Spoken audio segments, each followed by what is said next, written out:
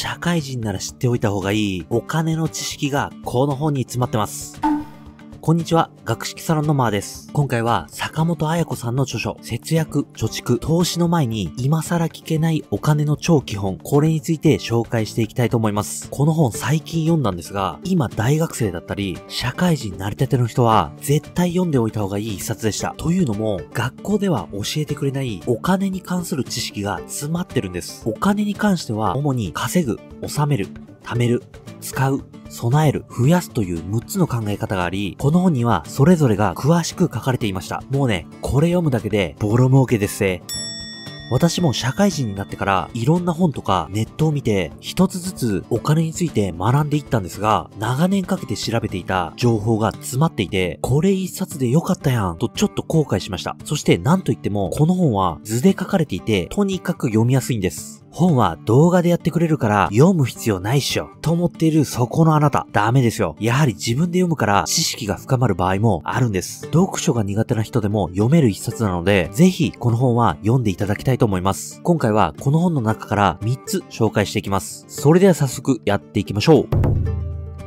まず一つ目、自分がこれから稼げるお金をざっくり予想してみようという話です。一般的に現役時代の平均年収が450万で40年働くとしたら、障害賃金は単純計算で1億8000万円です。これなんか多いようでもあり、一生かけてこれだけっていう感じもしますよね。これから問題になってくる老後2000万円問題など、そういった問題を考える上で、あなたの現在の障害賃金を計算して、まずは把握することから始めましょう。計算方法は、65歳引く現在の年齢で、まず残りの労働期間を出します。次に男性の場合は、あなたが就職した時の年収かける1.6倍を計算して、その会社で勤め上げたとしての平均年収を出します。。ん?女性の場合は少し年収が低いため1.2倍をかけましょう。最後、残りの労働期間かける残り期間の平均年収。これをすれば残りの障害賃金の予想が出てきます。あなたはいくらだったでしょうか？もちろんこれは予想であり、あなたの会社の年収の変わり方によっても変化していきます。大事なことは、まず、障害賃金を出してみることです。そして、将来的に貯めておかないといけない金額を割り出してみて、足りていれば問題はないですが、ここで足りていない場合、増やす対策をいち早く考えておかなければいけませんよね。この本では色々稼ぐ方法は書かれているんですが、主な方法は3つで、65歳よりも長く働く、スキルアップをして出世を目指して年収を上げる、副業をするといったことでした。他にも転職も一つの手段かと思います。企業が残業時間を減らしていて、副業解禁にどんどんなっていることからも、個人的にはやはり副業が今後大事になってくるかと思っています。二つ目、貯蓄プランを立ててみるという話です。あなたは今、どれくらい貯金ありますかね？コメント欄にお願いします。あなたが日々の生活費以外で、今後どんなイベントでどれくらいお金が必要か計算してみましょう。このために重要なのが、みんな大好き PDCA です。まず、プランでこれからどんな人生を生きたいか考えてみます。結婚するか、子供を持つか、住宅を買うか、これはいつでも変更は可能です。次に実行です。生活のために使うお金とのバランスを考えて、毎月の貯金額を貯めていきます。ちなみに、貯金のコツは、給料が入った時点で、先に貯金をすることです。これは、先取り貯金として、この本で紹介されています。例えば、手取り20万円の人で、貯金額を4万円とします。その場合、残りの16万円で、日々の生活費を考えていくんです。これは私もやっていることなんですが、最初から貯金額はもうないもんだと考えて生活をするので、確実に貯金ができるようになります。次に C のチェックです。計画通り溜まっているか、預金通帳や Web 明細で確認をします。ここで貯金できてない場合は、その原因を調べておきましょう。最後に改善です。貯金できない理由が分かったら、無駄な支出は減らすようにしましょう。あくまで無理はしすぎても続きません。自分の状況に合わせて貯金額を見直していきましょう。では、ここからイベントによる支出、あなたが将来大きなお金が必要になる支出額を考えていきましょう。項目は結婚資金、子供の教育資金、住宅購入の頭金、老後資金、いざという時のお金、その他の必要資金です。一個ずつ説明していくと、まず結婚資金は結婚から新婚旅行までの合計額です。一般的な平均額は約460万円です。これ結構高いですよね。最近はコロスケの影響もありますから、今後結婚式はやらなくてもいいんじゃないかって個人的には思っています。結婚式、密です。次に子供の教育資金です。幼稚園から大学まで全て公立でも800万円くらい必要で、当然私立だともっとお金がかかります。次に住宅購入の頭金です。一般的には物件価格の2割必要になります。例えば3000万円の家なら300から600万円です。私の場合は一生賃貸宣言を妻と交わしたので、ここは不要になっています。次に老後資金です。これは最近老後2000万円問題でも話題になりましたよね。1人2000万円必要です。きついな。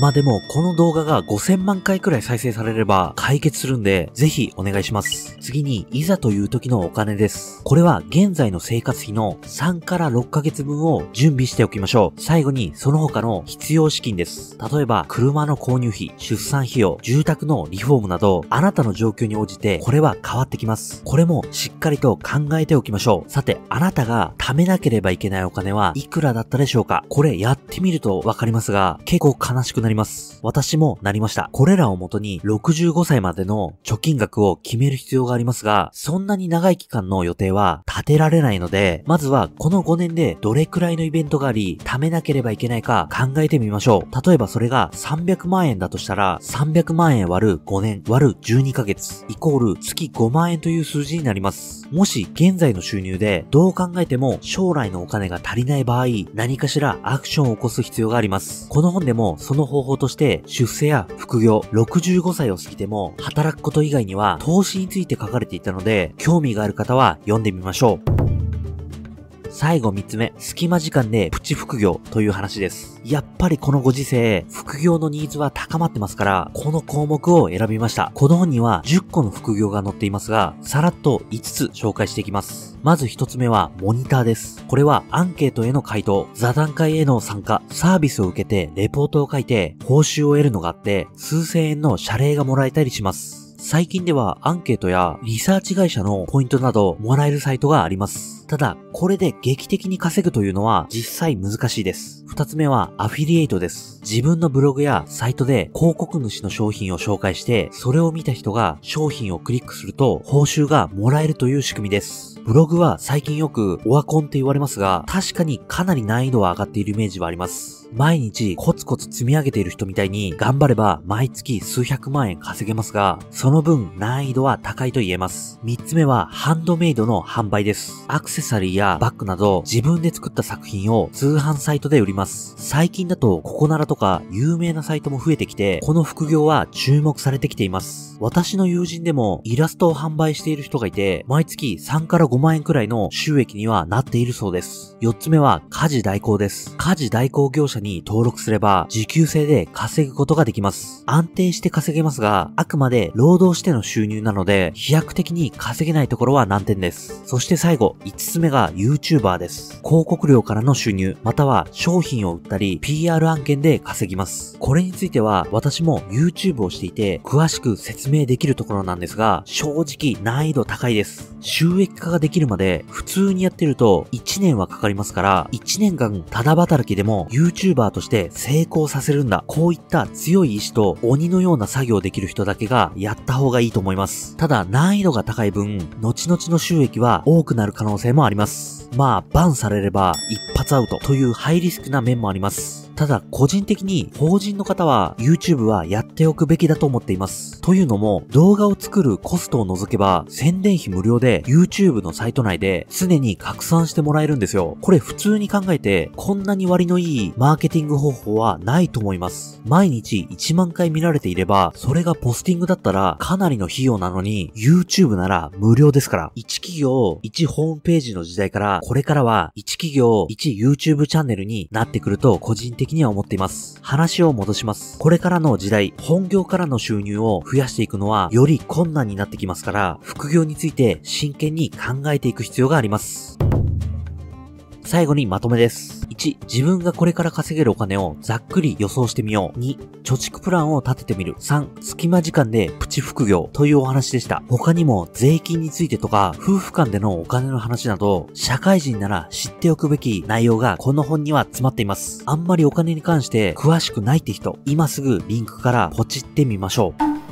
私あんまり節約マニアというわけではなかったんですが、社会人になる時にお金に関して一通り勉強したんですよ。その中でやってみて一番良かったことは、すべての支払いをクレジットカード払いにしたことです。これね、ほんとおすすめです。例えば、携帯料金とか、ネット回線、保険だとか、光熱費、他にもできるなら、家賃とかもすべてクレジット払いにするんですよ。あとは、日々スーパーとか、飲食店の支払いもクレジットカードで払うと、さらに効果的です。私が今使っているクレジットカードは、もう新規利用ができなくなってしまってるんですが、すべて2%ポイントがつくんですよ。だから年間だと数万ポイントになります。これただ、口座引き落としからクレジットカード払いに変更するだけなんで、これははやっておいた方がいいと思います。あと、実は内緒な利点があって、結婚した時にお金の管理の話になるじゃないですか。そして世の中の男子がまずすべき使命は、なんとかお小遣い制を阻止することじゃないですか。これ、クレジットカード経由にしておけば、ああ、お金の管理ね、クレジットカード経由にしてるから、いろいろめんどくさいんだよね。管理は別々にしよっか。とご利用しして、私はなんとかお小遣い制を阻止することに成功しました。これも結婚していて、お小遣いという名のペリカで生きているる人は仕方ないんですが、まだ結婚してない人、使える技なのでおすすめです。ではまた。